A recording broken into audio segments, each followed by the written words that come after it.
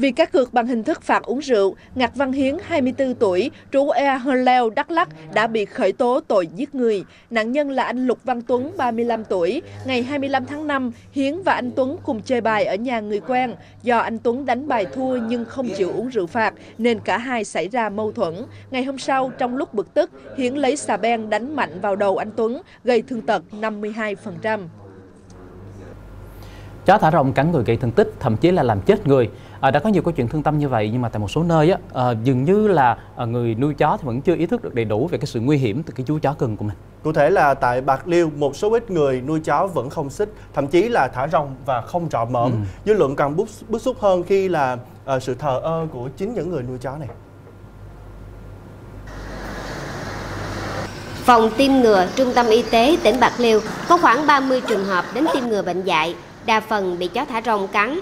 Cái con mình cắn vô đầu nó mới dùng nguy hiểm á, rồi để chích ngừa cho đủ mũi thì bữa nay mũi cuối rồi. Con anh nhiều khi con chó đó nhỏ chứ phải nó lớn nó cạp cái đầu nhỏ. Ở thành phố Bạc Liêu có thể dễ dàng bắt gặp những con chó chạy lang thang ngoài đường.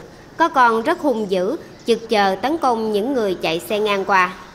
Chó nuôi thì phải xiền, không thôi thì mình đừng có nuôi chứ để chạy ra lộ nguy hiểm cho người ta xe cộ tai nạn với ờ, chó bây giờ nó bất thường nó muốn cắn ai thì nó cắn. Khi bị chó hoặc mèo cắn đầu tiên nhất mình phải ờ, rửa vết cắn bằng ờ, xà bông kê ngay vào nước rửa khoảng độ 15 phút. Rửa xong rồi cái bắt đầu đến những cơ sở y tế có chích ngừa dại để mình tiêm ngừa. Tại Bạc Liêu đã có trường hợp người tham gia giao thông bị chó thả rong tạt ngang đầu xe, gây ra va chạm dẫn đến chấn thương nặng. Người dân mong ngành chức năng phải có động thái quyết liệt hơn trong vấn đề xử lý nuôi chó thả rong, bởi không biết lúc nào chúng lại nổi điên gây hại cho con người, nhất là trẻ nhỏ. Sáng nay, một hố ga tử thần bất ngờ xuất hiện trên đường Đồng Khởi thuộc dự án hầm chui Tân Phong, thành phố Biên Hòa, Đồng Nai. Hố sâu khoảng 1 mét, miệng bằng sắt, gần 1 mét vuông đã bị bể gãy sụp xuống hố, gây nguy hiểm cho người đi đường.